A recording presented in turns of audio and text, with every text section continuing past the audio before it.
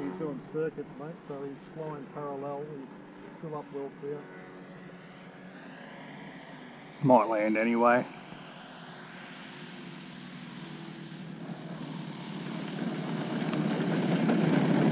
Wait until he's clear of the everything.